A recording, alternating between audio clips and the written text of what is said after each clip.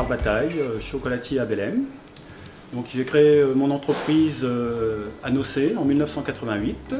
Ensuite, je suis arrivé à Belém en 1999. Nous avons créé ce chocolat, chocolat- noir, qui s'appelle Eben, hein, qui a 71% de cacao. C'est un chocolat qui est très aromatique. Vous pouvez vous en servir pour faire vos tablettes, pour euh, faire vos pâtisseries, les chocolats chauds. J'ai donné la recette à monsieur Héninger, hein, qui vient de reprendre mon, entreprise depuis le, le 4 novembre.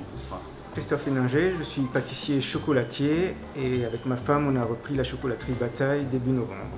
On vient d'Alsace, de Daguenau très exactement, une petite ville à une trentaine de kilomètres au nord de Strasbourg. Pourquoi la chocolaterie Bataille? Parce qu'on rechercherait vraiment un bien qui nous correspond, avec des valeurs, des produits de qualité, une très très belle clientèle. Et la chocolaterie euh, Bataille est vraiment l'entreprise rêvée pour nous. En plus, avec un bonus, une très très belle, très belle équipe, voilà, des grands professionnels et des gens de qualité.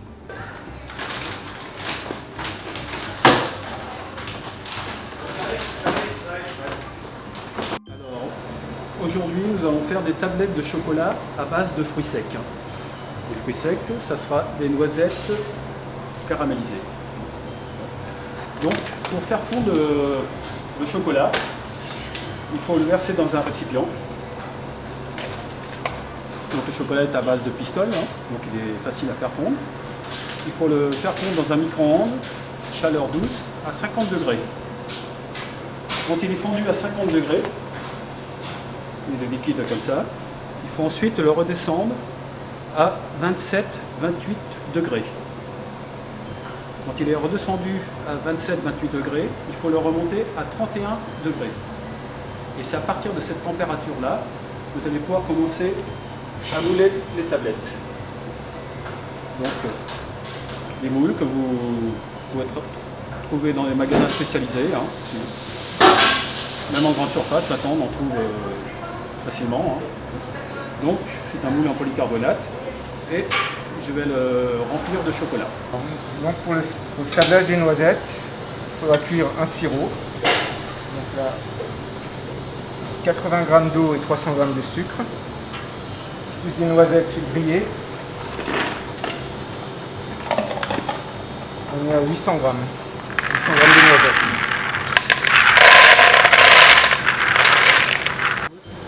On va faire cuire notre sirop à 116 degrés. Au préalable, il faudra bien faire griller les noisettes. Donc on les met dans un four à 160 degrés pendant une bonne, euh, bonne demi-heure. On arrive à la fin de notre sablage.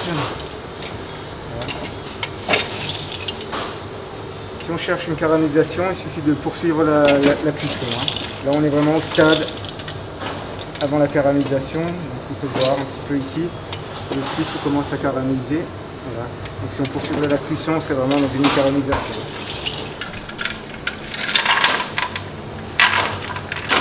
Donc, j'ai fait fondre mon chocolat à 50 degrés. Je vais le laisser redescendre à 27-28 degrés. Et ensuite, je vais le remonter à 31 degrés. À 31 degrés, il a une très bonne fluidité. Je vais pouvoir mouler mes tablettes de 100 grammes. Donc, je prends un moule polycarbonate hein, ou en plastique.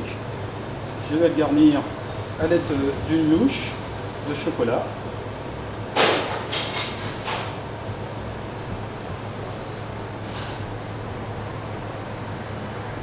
Je remplis bien. Et ensuite, je tapote le moule pour que ce soit bien égalisé. Faut pas qu'il y ait de bulles.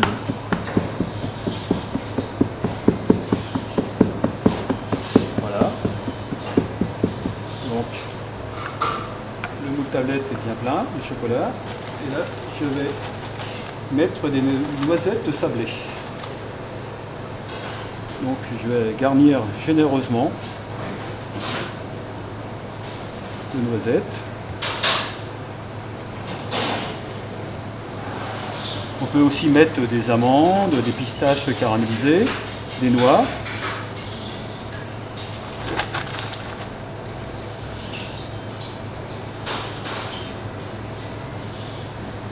Faire euh, même le, mélange de 3-4 fruits secs. Hein.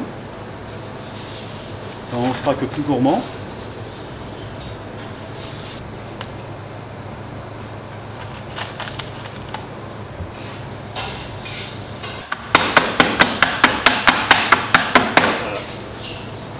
Le moule est bien garni.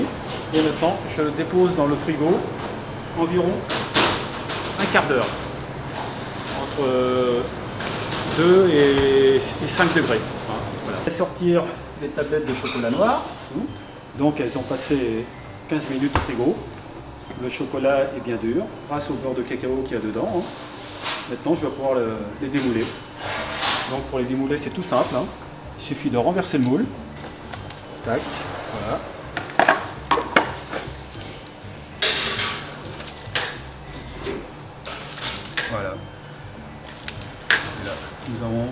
Des tablettes de chocolat noir bien cristallisées avec euh, des noisettes euh, sablées sur le dessus.